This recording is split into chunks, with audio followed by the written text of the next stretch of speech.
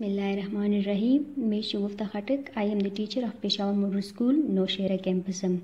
Dear students, I hope all you will be fine, shine and good. So we will discuss here the subject of maths and the subject of maths we will discuss here the topic of addition. What is the topic? Addition.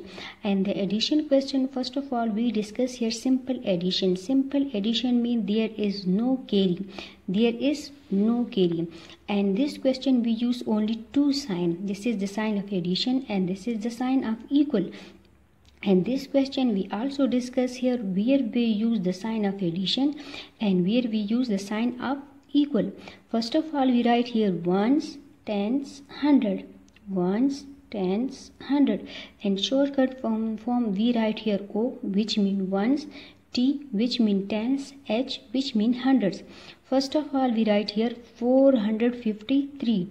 453 then putting the plus sign here then write second number the second number is 342 342 then after draw draw the boundary line जब हम boundary line को draw कर लेंगे तो हम right right side पर आ जाएँगे। Addition question को सॉल्व करने के लिए we will start the question from one sides and the one sides first digit is 3 so we write here 3 putting the sign of addition then we write here 2 when we add these two digits the sum of these two digit is equal to 5 then we write here 5 now we come to the point 2 second point.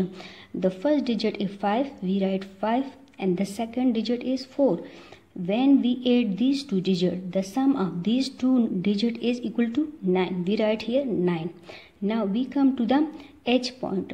The first digit is 4 we write here 4 and the second digit is 3 when we add these two digits the sum of these two digit equal to 7 so the answer of these two digit is 795